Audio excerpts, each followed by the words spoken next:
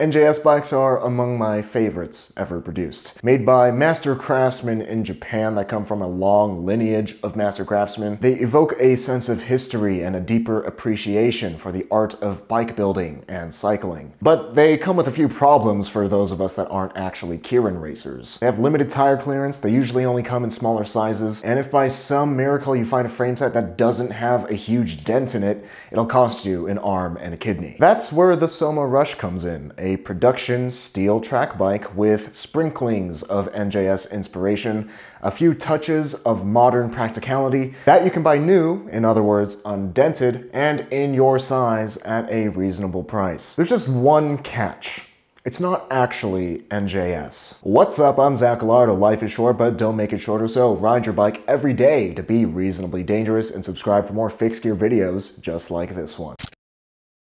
This video is made possible by Wabi Cycles. For complete steel bikes that are well under 20 pounds or 9 kilograms, consider checking them out, linked at the top of the description. Is a Soma Rush worth your hard-earned money? Well, they sent one over, so I can answer that question for you. Let's find out. The Soma Rush is only sold as a frame set, so Soma sent over one that was pretty nicely spec'd. The review will mostly focus on the frame set, but it's near impossible to only review the frame set in a vacuum because we ride bikes, not frame sets. With that said, here are my quick thoughts on the components that they chose and how they might influence my perception of the frame set. Feel free to check out the links to the components linked in the description. The wheels are Araya SA730s laced to Suzue Pro-Max hubs and wrapped in 28C Soma Shikoro tires. The wheels were custom built, impeccably tensioned, and fast rolling without being overly harsh. For the contact points, the bars are Nitto B802s cut down to 560 millimeters. The bar's sweep back made it comfortable for the wrist and the width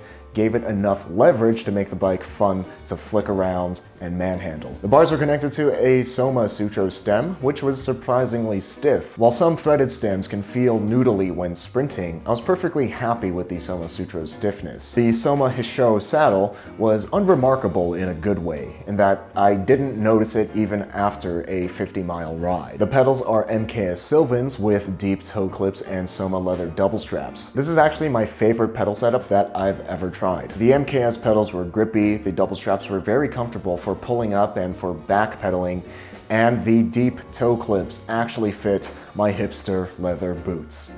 For the drivetrain, we have IRD Defiant cranks, which are a 144 BCD track crankset. They were noticeably less stiff than SRAM Omnium Sugino 75s or Andel cranks, but they were still plenty stiff for street riding. Although they're not as stiff, their classic styling more than makes up for it in the looks department. While the 4618 gearing was a bit low for flat as a pancake Sacramento, the IRD Defiant chainring, combined with the Soma cog and linked together with an Izumi chain, all ran buttery smooth. The components on this build are really nice fitting for an equally nice frame set. Here's what my experience has been with the Soma Rush. Straight away, I noticed a lot of attention to detail with the Soma Rush, and it's apparent that a lot of love and care went into designing and producing this bike. There's a perfect balance between beauty and practicality. The first thing you'll notice about the Rush is its impeccable craftsmanship. New for 2019 is this matte purple colorway. While it can be a hassle to keep the finish smudge free, matte purple is so striking on this classically inspired bike that I immediately fell in love with it. The Rush comes with the cleanest TIG welds I've ever seen on a bike. While lugs would be appreciated, they also would have put the Soma Rush in an entirely different price bracket. The TIG welds serve their purpose, keep the price reasonable, and look beautiful in their own right. My favorite part of this frame set is the rear triangle with the pencil-tacked seat stays, a nod to NJS bikes. This is what I call drive-side bikes that look good in photos online, but the Soma Rush is more of a 360 bike. The S-bend chainstays look incredible, and they invite you to walk around the bike. Those chainstays aren't just for securing fixie points, though. They let you fit up to a 32C tire, according to Soma. That tire clearance also continues with the fork which can also fit up to a 32C tire. The lugged straight blade fork adds a hint of freshness to this classically inspired frame set. The Rush comes equipped with a single set of bottle bosses on the seat tube. While not fit for a truly traditional track bike,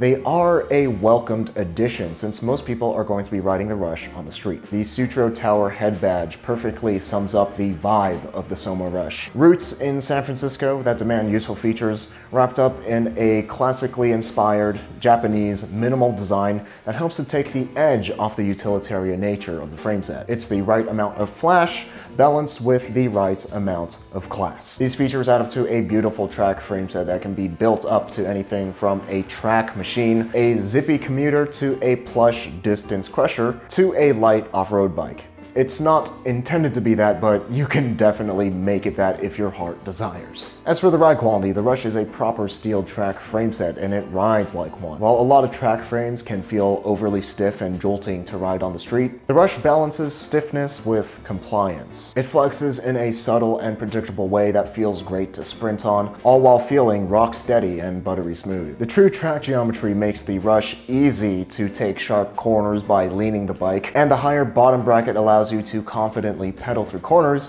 even with toe clips. As a track bike that is primarily meant to be ridden on the track though, there are better aluminum options that offer a better stiffness to weight ratio. While you can certainly ride it on the track, a more specialized track bike would be better suited. The Rush is better for the street than the track, but that's how most people will ride it anyway. As much as I enjoy the Soma Rush, it's not perfect. While there's nothing inherently wrong with frame sets from Taiwan, most of the world's high-end and mid-range bikes are made in Taiwan, it does leave something to be desired for the NJS aficionado, like that coveted NJS stamp on the bottom bracket or the aforementioned lugs. But for the financially reasonable rider, or even just the taller rider, the Soma Rush will still mostly fill that NJS-shaped hole in your heart all while being more practical for the street. So, is the Soma Rush worth your hard-earned money? In order to answer that question, we need to take a look at the Soma Rush's competition. The closest competition for the Rush is the All City Big Block. While the Rush is a classically inspired track bike with sprinklings of modern touches,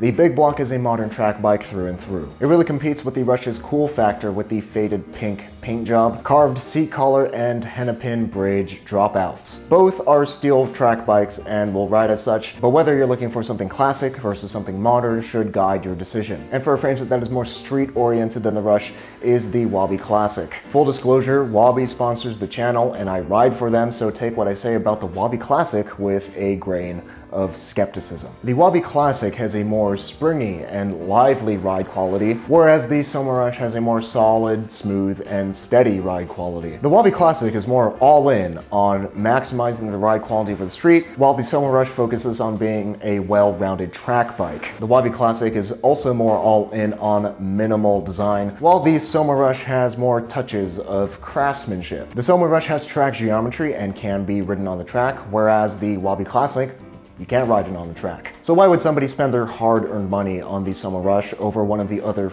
great steel frame sets at this price. Well, if you like NJS bikes but you're too reasonable to drop the cash necessary for one that doesn't look like it's been in a pile up on the track, then the Soma Rush may be for you. The Soma Rush's traditionally inspired design will resonate with NJS fans, while the modern touches will make it more practical for the street, and also give some fixie points in its own right. While it's not NJS, the amount of attention to detail that went into producing the Soma Rush makes it feel like you're still riding something really special. The Soma Rush is an NJS bike if NJS was more practical. To sum it up, it's like the James Bond of track bikes. It has a confident, quiet ride quality, it has sharp yet well-grounded handling, it's classy and distinct without seeming desperate for attention, and it's a tried and true, reliable frame set that you can always count on to complete the mission. It's the Rush, Soma Rush. Speaking of frame sets that you can always count on, our channel sponsor, Wabi Cycles, is the epitome of what makes cycling fun. Every one of Wabi's design choices are meticulously made to give you the purest ride quality for the money. And Wabi executes those choices perfectly with master craftsmen right here in Taiwan and a friendly bike shop in Denver, Colorado that is eager to answer your questions